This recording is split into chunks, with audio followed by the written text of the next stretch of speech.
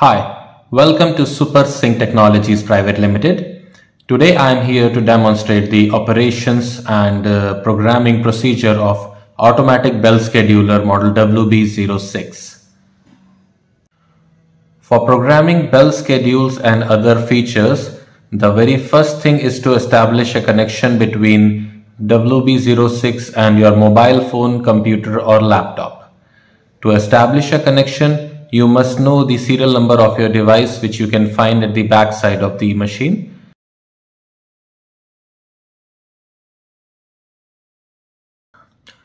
After knowing the serial number of this device, for making the connection you need to connect on hotspot of WB06.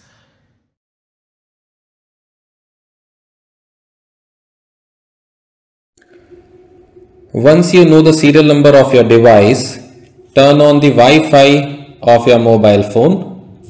In the available network options, you'll get the option as WB06- serial number of your device. The device which I have right now is having the serial number as 8530. So I am connecting to WB06-8530.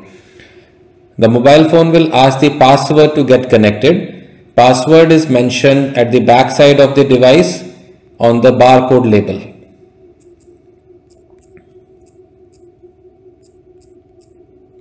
Once you have entered the password, press the save button to get connected.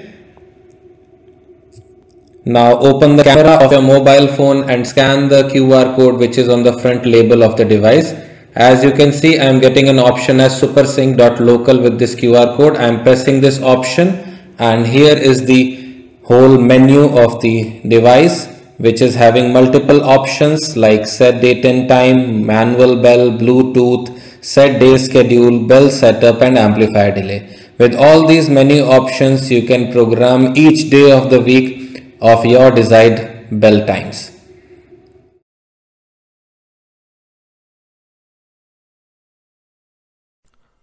So after knowing the procedure to get connected with WB06 through a mobile phone, now I am explaining the procedure to make a similar connection with a computer, laptop or a tablet. So as you can see my Wi-Fi is off right now. I'm turning on the Wi-Fi in the available network section. As you know the device which I have has the serial number as 8530. So I'm going to connect with this option WB068530.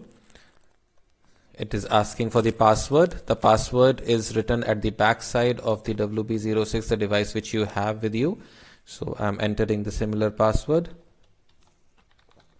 Once the password is entered, I am pressing the next button to get connected.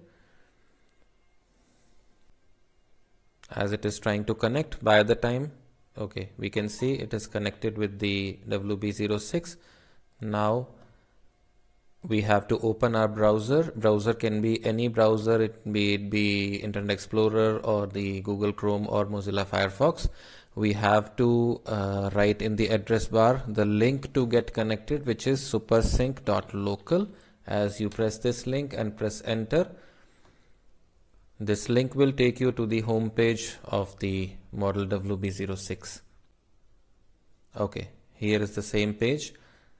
This page is exactly same which you have seen in the mobile as well. All the same options. Set date and time manual bell bluetooth set day schedule bell setup and amplifier the similar procedure you have to follow in computer, laptop or tablet. So this was the uh, procedure to get connected with computers. Thank you so much.